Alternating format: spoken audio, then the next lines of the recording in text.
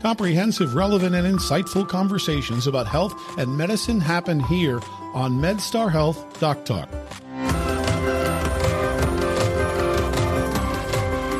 Diabetes affects 34 million Americans and is growing yearly. Because of their disease, many people with diabetes will struggle with wounds that just won't heal, sometimes resulting in amputation.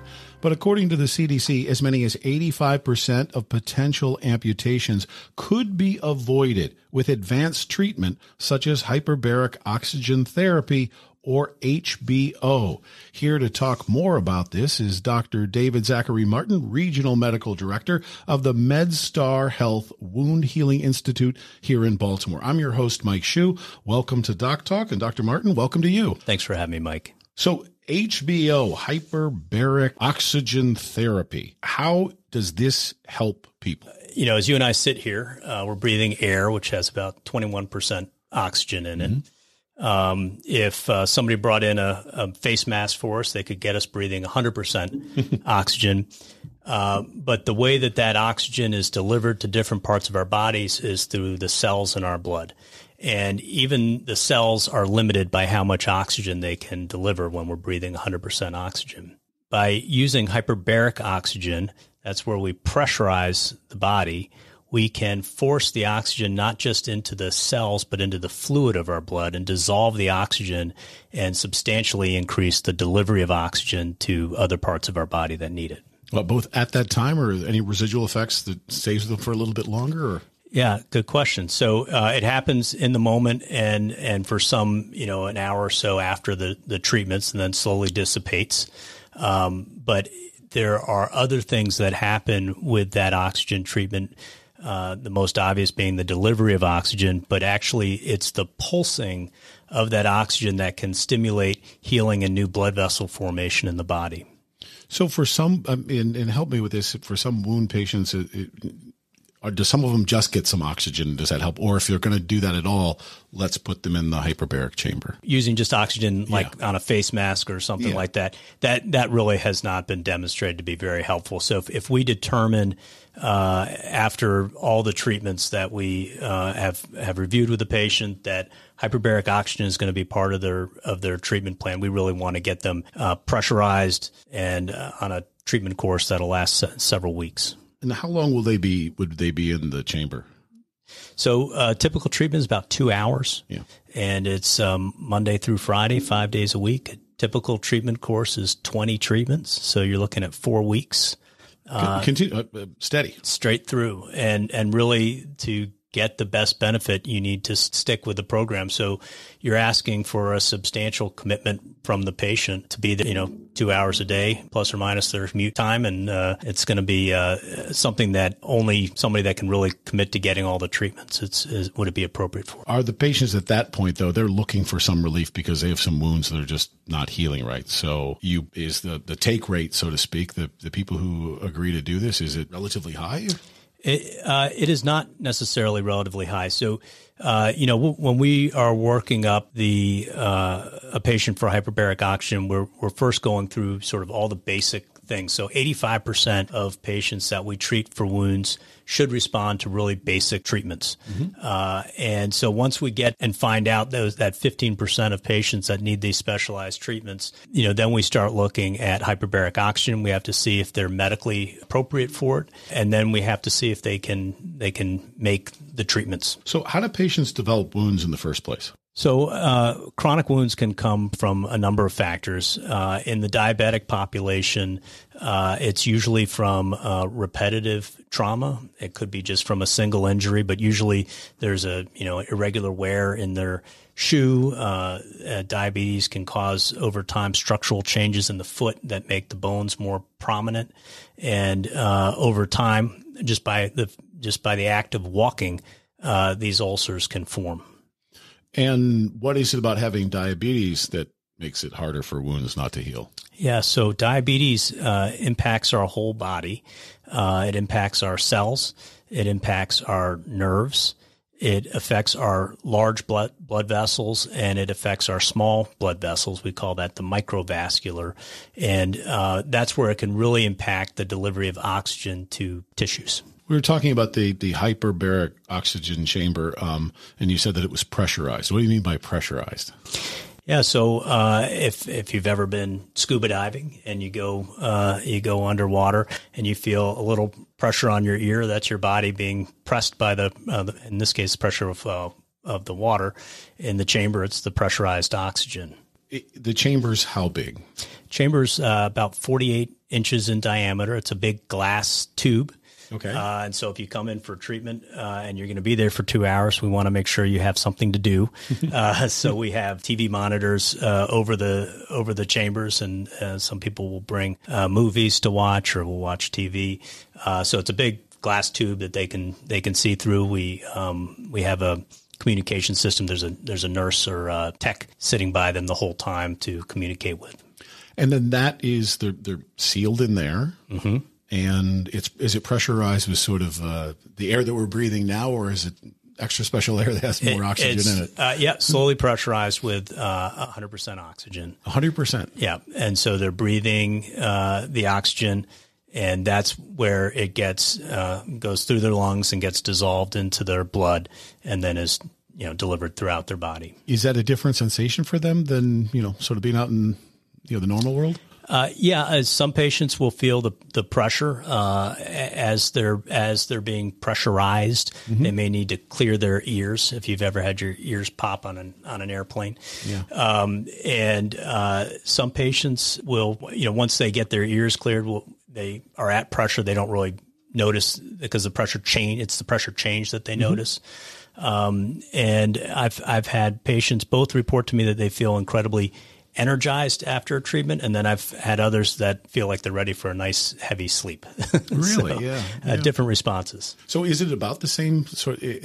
I, when you when you're up in an airplane, you're actually sort of depressurized. Uh, yeah. But is it is it that same sort of ratio of uh, you know pressurization that they would feel similar to an airplane? Yeah, it's because it's the change in pressure, and so uh, that that the the slower that changes, the more comfortable it is. And so even for patients that that are feel are more sensitive to that pressure change, we might actually change the rate of uh, of pressurization for them. Right. And you pressurize it and depressurize it over a course of how many minutes? Uh, about 20 minutes. Oh yeah. yeah. So yeah, the only reason the babies cry is at the beginning of the flight right. and at the end. You got it. That's that's where the, when the pressure changes. In the middle, they're fine. That's um, right. So it's it's not altogether that uncomfortable of an experience for them. No, uh, it's it's it's very well tolerated uh, once you've once you've sort of mastered the pressurization process. And the, the the process of sort of forcing the air into the body that in and of itself helps the body to heal. Yeah. So so different. Uh, yes, different. Um, parts of our body respond differently to oxygen. So the blood vessels that have been starved of oxygen at on a foot in somebody with vascular disease, the pulsing of that higher level of oxygen and then that level of oxygen then going back down again stimulates the formation of new blood vessels to grow. Really? And so you, you're getting the immediate impact of delivering oxygen but then the sustained impact over time of actually growing new blood vessels that can promote healing.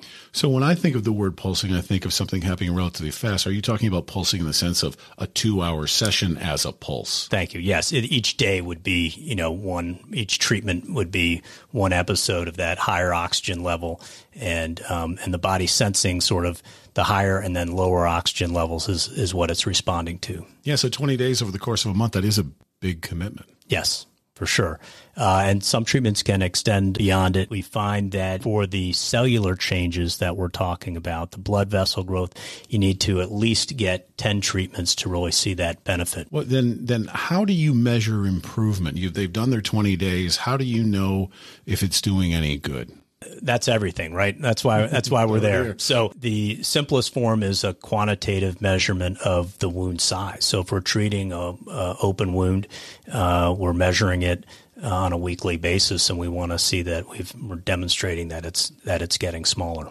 Yeah, I mean, are wounds like that the open wounds? Are they they they usually covered with you know a salve or a dressing or something or? Yep. Uh, often they'll have a dressing. There's certain dressing materials that we have to keep out of the chamber because it just kind of gooks up the chamber. So, but the dressing is sort of an un, unimportant part during sure. the during the treatment. So the, the, when they're doing they're doing their, their dressing changes halfway through or three quarters way through, they may even themselves go, "This looks better." Yes, uh, we would say that uh, encourage patients to really not prejudge it in the first 10 days because we just know that it, that's that's what it takes to just kind of rev things up. But we would hope by week 3 or 4 that they can see for themselves that there's a benefit. So then would one session let's say we've been using this uh, example of 20 mm-hmm. is that enough sometimes to do the trick and get people to a point where their their wounds are better and they're stable and yes. One 20 treatment session can be enough. We may at the end of those 20 treatments say you know this this is looking better. Your body clearly is responding,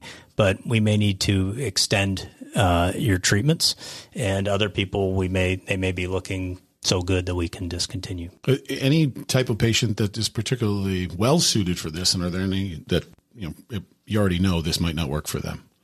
Yeah, so um, you know we we get a lot of calls for hyperbaric oxygen treatment because there's a lot of information on the internet about it it is sometimes talked about like it's a magic bullet treatment for things. Um, and so we really like to talk in the context of, you know, this is just using oxygen like you'd use a, a drug. You know, sometimes it's appropriate to put you on antibiotics, sometimes it's not appropriate to put you on antibiotics.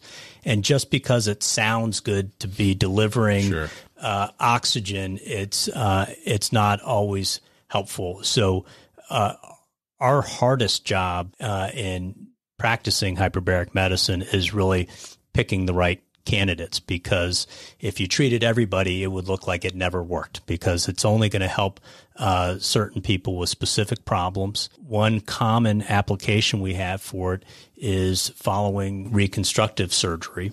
Uh, when we do reconstructive surgery, sometimes the tissues aren't healing perfectly because we've uh, repositioned the blood supply of that of that tissue. And so those are those are patients that we expect to respond well to hyperbarics.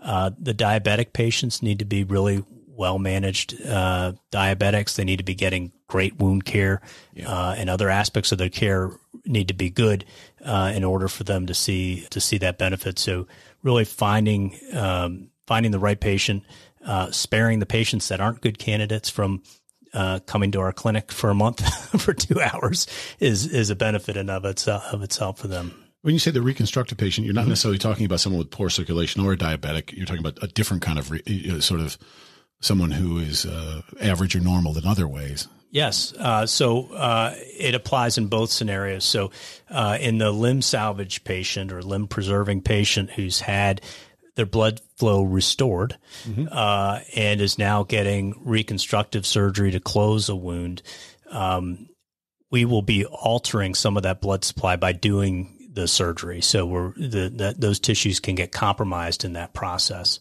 But even in um, procedures like breast reconstruction, uh, where you know there isn't a chronic medical condition that's contributing to poor healing, you can experience poor healing, and uh, that's due to alterations in the blood supply that are basically caused by the surgery.